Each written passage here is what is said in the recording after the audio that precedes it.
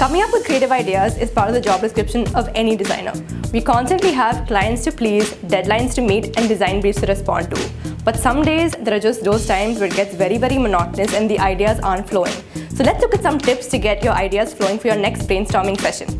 Hi, this is Achala from Social Beat and you're watching Digital Bytes. And here are 5 ways to put some fun and structure into your next brainstorming session. And remember, these aren't just for designers. Number 1, storyboarding. Just like its name suggests, it's a visual representation of the problem. I'm sure we've all seen those examples of an entire wall filled with post-its with small writings on them. This is a storyboard. It represents a problem which has a very specific beginning, a middle, and an end. These post-its can have anything on them. They could be quotes, doodles, drawing, random thoughts.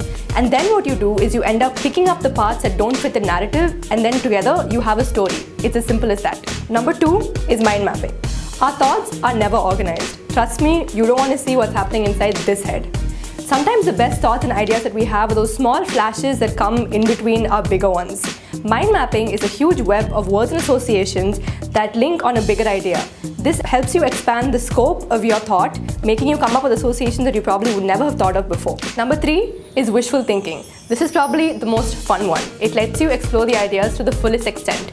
So come up with your craziest idea and solution to a problem and then you can definitely scale it down by taking out the aspects that you think are crazy or too fun and you may come up with a very viable and implementable solution for your next idea. Number four is rapid prototyping. If you're familiar with IDEO and the design thinking process, this will not be new to you. It's in a world of digital, it's very, very easy to forget that there are such things as a paper and a pen.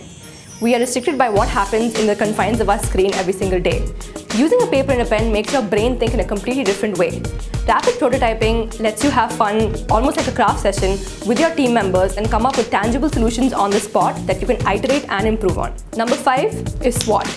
It stands for strength, weakness, opportunity, and threat. I'm pretty sure all you marketing and business majors out there have heard it, but trust me, it's not as boring as it sounds. It's basically making a matrix for those four aspects and auditing a brand in a very, very objective way something that obviously before you've probably thought in a very subjective manner.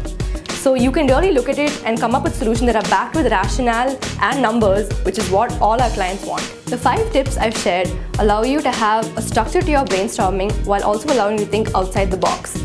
More often than not, we have a lot of ideas that get thrown on a whiteboard, but often without the end goal or user in mind. These tips help you structure your brainstorming sessions in a way that you have attainable goals and viable results. Thanks for watching Digital Bytes. If you have any brainstorming tips that you use, we'd love to hear them. Please leave them in the comments below.